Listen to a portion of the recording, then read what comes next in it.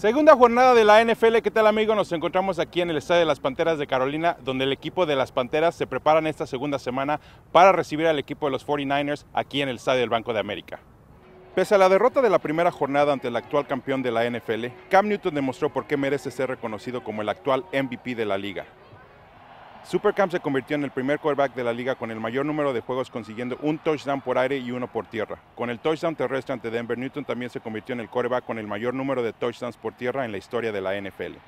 My job is to win football games for the Carolina Panthers. And that's all I'm trying to do. I'm not trying to, to, to be no lawyer, to lobby for this person, that person.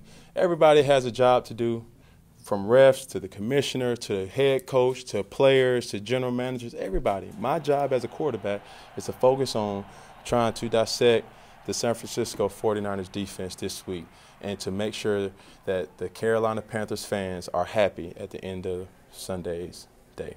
Para este próximo encuentro ante San Francisco, la línea ofensiva tendrá que tener un mejor desempeño protegiendo a Cam Newton de principio a fin. Independientemente del espectacular desempeño por parte de Cam ante Denver, la ofensiva mostró lapsos mentales que le costaron tres capturas de coreback y varios golpes severos sobre Newton en la segunda mitad ante Denver. Carolina perdió la iniciativa en la segunda mitad consiguiendo solamente un gol de campo en los últimos 30 minutos del juego. En cuanto al juego terrestre se refiere, la ofensiva Pantera dio muy buenos resultados en la primera mitad del juego ante Denver, acumulando 99 yardas por tierra. Sin embargo, esta unidad tuvo poca efectividad en la segunda mitad, consiguiendo solamente 59 yardas terrestres.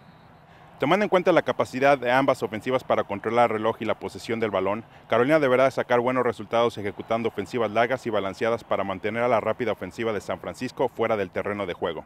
En cuanto a la defensiva se refiere, Carolina consiguió dos interceptaciones, pero también permitió dos touchdowns y 148 yardas por tierra ante Denver. El objetivo principal esta semana ante San Francisco es parar a su corredor estrella Carlos Hyde y a una ofensiva terrestre la cual consiguió 150 yardas y tres anotaciones de touchdown ante Los Angeles Rams la semana pasada.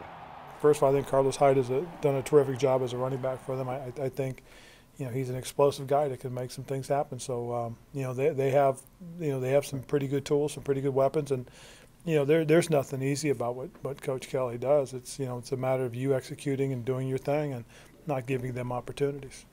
Bueno amigos, les recordamos que para esta segunda jornada las Panteras estarán recibiendo a los San Francisco 49ers este próximo domingo a la 1 pm aquí en el Estadio del Banco de América. Se despide su amigo Luis Moreno para Panthers.com y para la NFL en español.